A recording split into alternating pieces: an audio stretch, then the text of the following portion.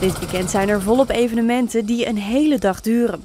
Zo begon zaterdag het 24 uurs racen op het kartcircuit in Lelystad. In verschillende teams strijden de deelnemers om de hoofdprijs, maar er wordt ook geld ingezameld voor een goed doel. Nou ja, de winst en de eeuwige roem is natuurlijk belangrijk, maar ik vind het ook belangrijk om er een goed doel aan te koppelen. En dat is uh, Stichting Groothart van uh, Rob Campus, de tv-presentator. En die helpt zieke kinderen om een onvergetelijke dag te geven op het circuit, dus dat is ook erg leuk. 24 uur racen, dat is zeer interessant, want je rijdt daar met heel veel mensen. En het is erg spannend om te zien nou, wie goed, goed rijden, tegen welke andere coureurs rijden de hele tijd. Ja. Dus het is erg spannend. In totaal is hier 1500 euro opgehaald. Daarnaast was er voor het eerst een samenloop voor hoop in Lelystad. Hierbij wordt 24 uur gewandeld om geld op te halen voor onderzoek naar kanker. Dit leverde ruim 17.000 euro op. Het was voor de deelnemers wel even pittig, want het regende gisteravond behoorlijk hard. Ik vind het heel knap dat iedereen nog loopt. Ja, maar het is wel jammer dat het weer zo slecht is. hey, waarom doe je mee? Uh, nou, omdat ik het heel belangrijk vind. En er zijn mensen uh, die ik daaraan verloren heb. Er zijn mensen die eraan genezen zijn.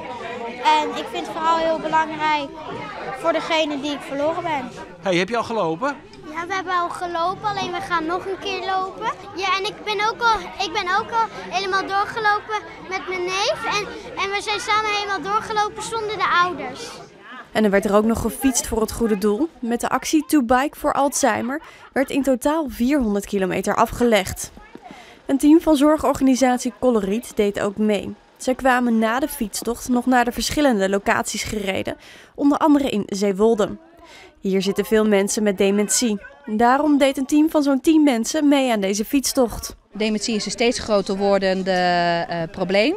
En uh, we hadden zoiets van, uh, wij willen niet alleen maar aandacht ervoor, maar we willen ook zelf eigenlijk in actie komen. Dus vandaar dat wij dat met collega's zijn gaan doen. Vooral het s'nachts fietsen was voor Marielle het meest bijzonder, omdat het een link heeft met dementie. Goh, we vonden het eigenlijk best spannend in het donker zo fietsen. Dat is wat mensen met dementie ook meemaken. Die voelen zich ook angstig voor het onbekende en wat ze meemaken. En dus eigenlijk vonden we dat wel heel erg mooi symboliek zo. Er kan nog geld gedoneerd worden. Als tussenstand heeft Coloriet zelf 1650 euro opgehaald.